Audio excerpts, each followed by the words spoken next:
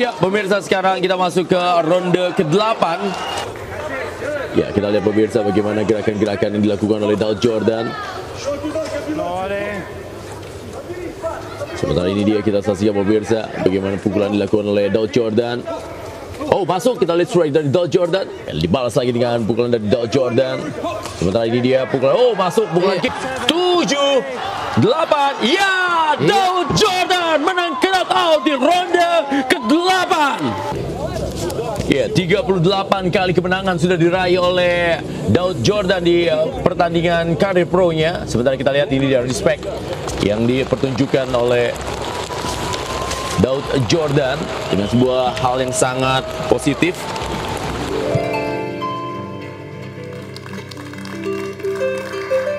Begitu masuk tadi, mataku lihat ke kaosnya nih.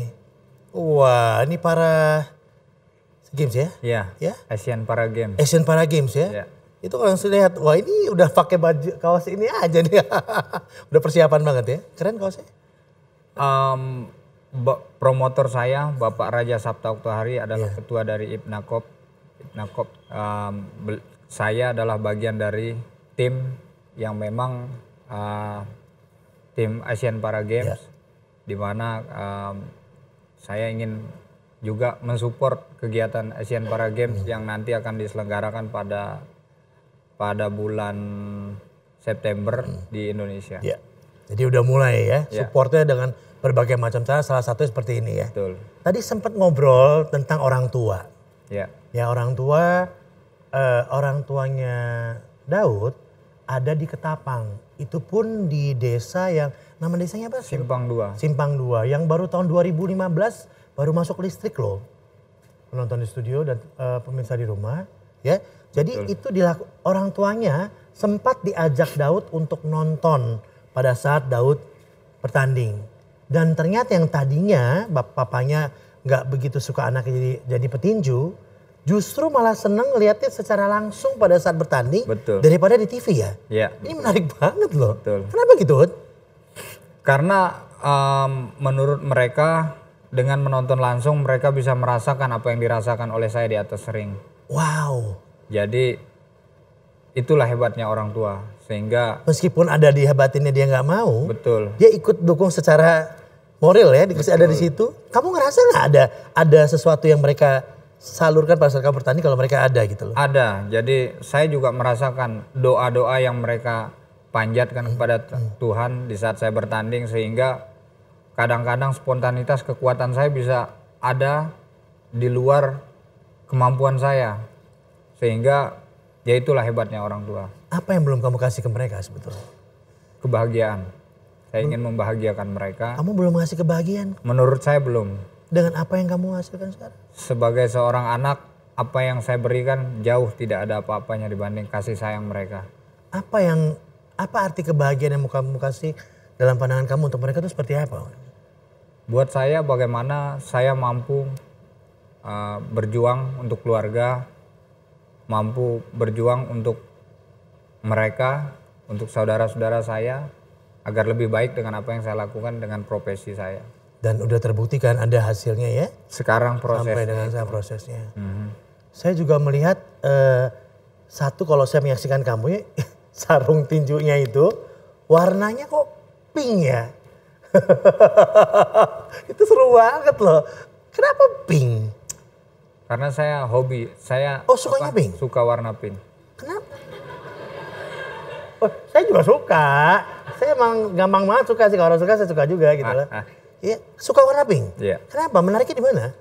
buat saya Kalem, halus. warna pink tuh halus mewakili karakter kita yang sebenarnya oke profesi saya sebagai seorang petinju tetapi em, pink itu mewakili mewakili saya bahwa profesi ini tidak harus sama seperti seperti apa apa yang saya lakukan hati dan perasaan kan halus. Jadi jangan lihat dia lagi tanding, tapi lihat hatinya. Ada yang bisa ngerasa nggak hatinya halus? Nonton? Bisa? Oh iya, kelihatan kamu halus banget kok. ah, Ya? ah. Oke, s- eh, dalam proses karir kamu, tentu ada orang-orang yang yang kamu anggap apa ya besar kontribusinya besar sekali eh, mensupport kamu. Siapa orang itu? Ada banyak ya, ada banyak sekali orang-orang yang saya anggap berjasa terhadap diri saya. Orang yang pertama saya betul-betul rasakan adalah kakak saya sendiri, Damianus Yordan.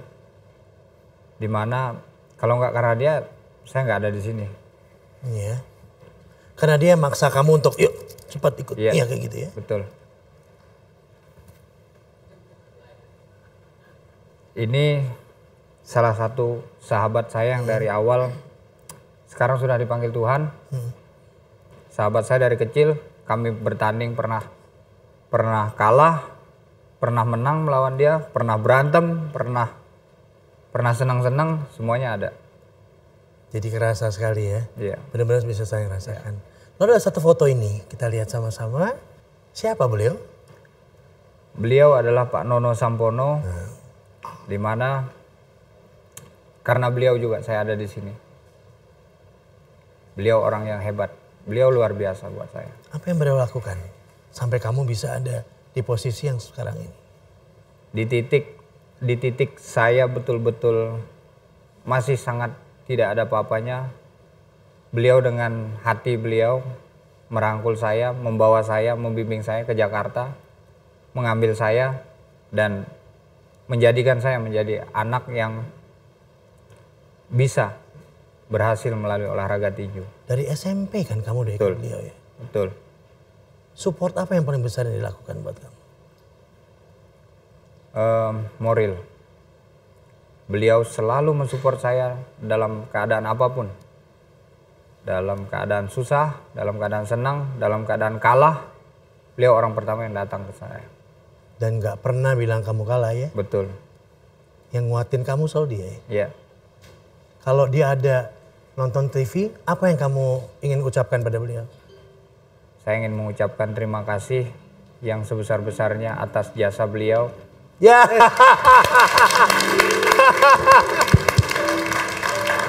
oh.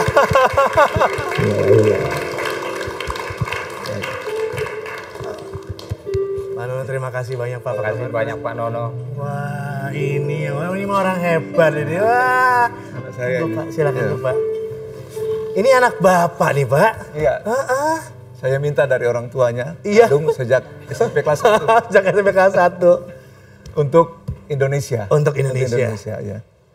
Ya, Ini anak Indonesia. Ini anak Indonesia ya Pak. Saya senang waktu kemenangan di Rusia, bukan hanya dia mempertontonkan kualitas orang Indonesia, tetapi budaya Indonesia pun diperlihatkan. Kita lihat pada waktu lawannya sudah jatuh, Betul, betul banget.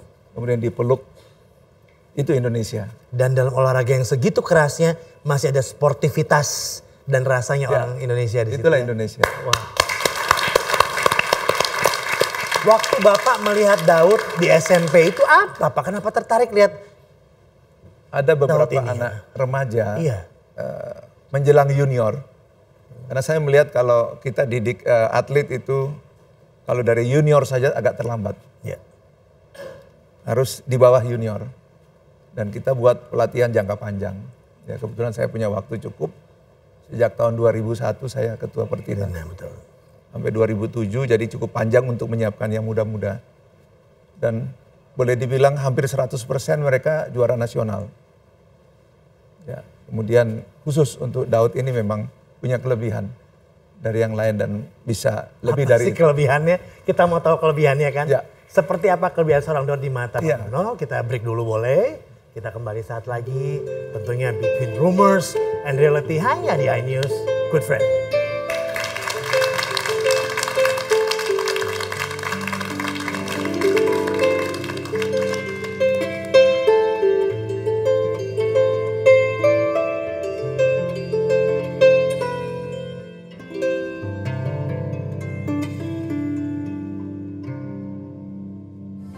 Buat saya keduanya Tuhan buat saya. Tuhan yang terlihat yang ada di dunia yang mampu membimbing istilahnya dia, Tuhan yang terlihat.